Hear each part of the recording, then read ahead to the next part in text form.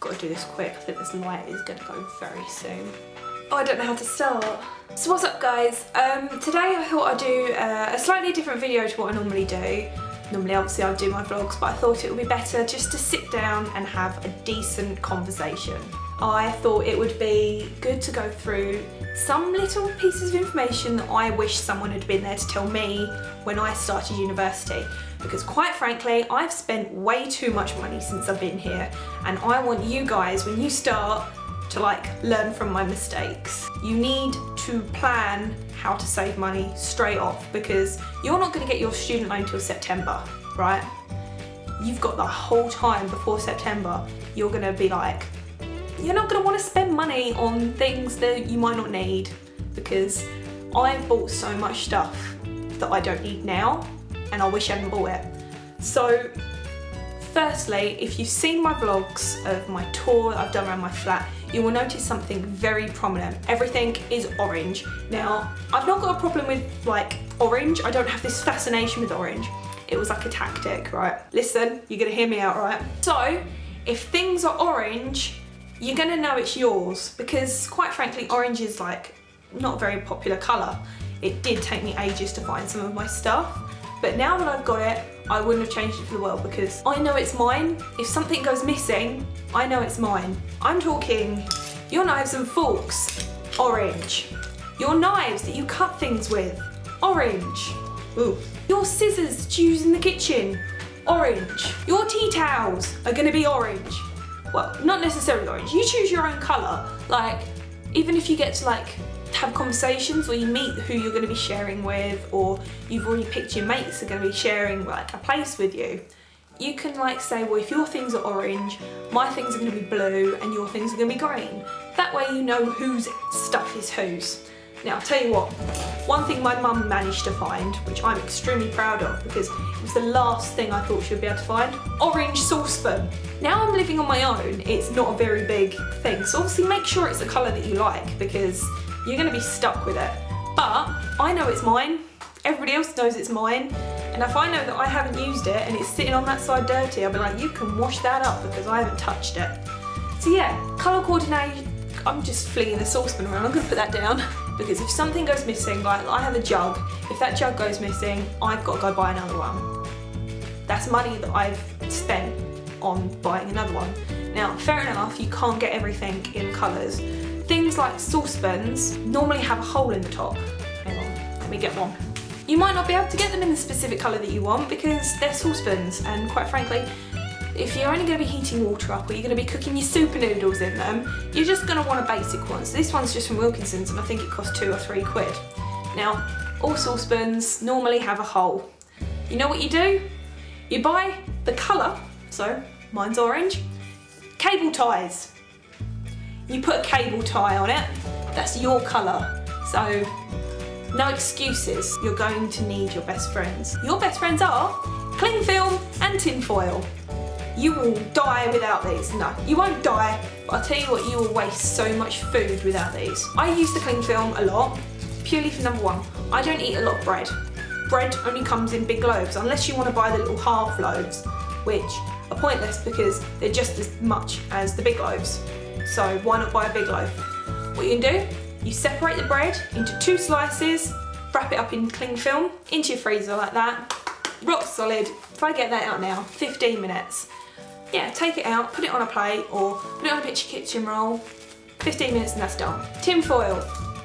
If you make a meal that like pasta, don't just make it for that evening. If you make it, make loads and put a bit of tin foil over it because yeah, saving and stuff. While we're on the like the big scale stuff, if we're gonna buy like big loaves of bread, next thing you need to do is it might be expensive, it might cost a lot. This cost me about six quid at the time. I've been here since September, so September, October, November, December, January, February, March.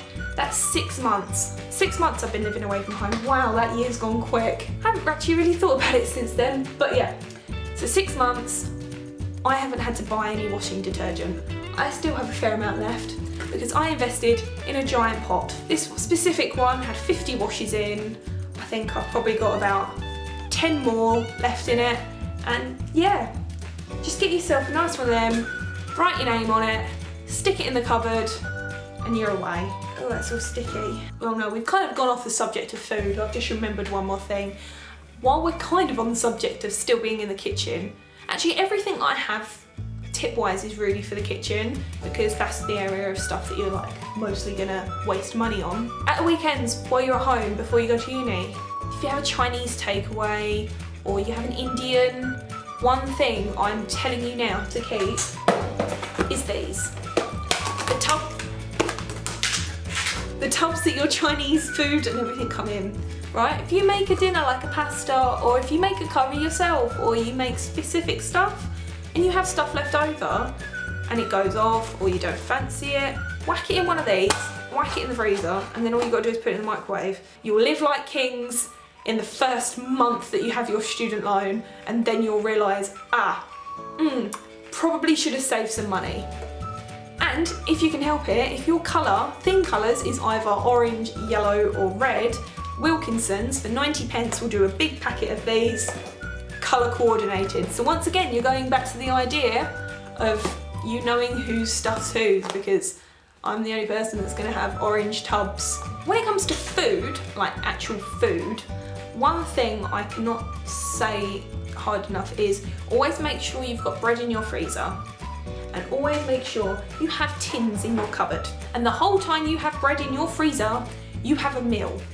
Think this tin cost me 50 pence or something stupid like that. If you have a tin of something, so we have sausages and spaghetti and beans and sausages, or you can just get beans or something, the whole time you have these in your cupboard and you have bread in your freezer, you will have a meal. It will be the cheapest meal you've ever had, but if you do get to that point where you don't have any money left, it's, it's a godsend because quite frankly, yeah. So I've got the whole loaf of bread in the freezer. I have eight tins consisting of something that can have on toast.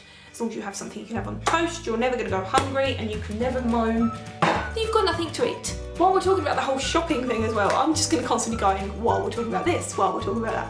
I'm lucky enough to live right next door to a Lidl's and a 24 hour Asda.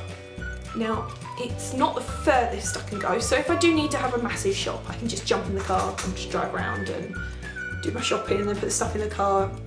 It's fine while I get here. It's the carrying process. So most people might live 10, 15 minute walk away from the nearest decent shop to shop in. So at the moment you have to pay for your shopping bags, which I think is absolutely atrocious. Fair enough, I can understand that the money goes to charity. So what I don't agree with is places like that can Fair enough, I have quite a fair amount of them, but they're these bags. They're a bag for life. I have about 20 million of these because I keep forgetting my decent bags. One day you're going to put one can of Coke in there too much and it's going to rip. Not ideal because if you're walking 15 minutes away from where you live, it's going to break because at the end of the day, it's only plastic. We can't help the world.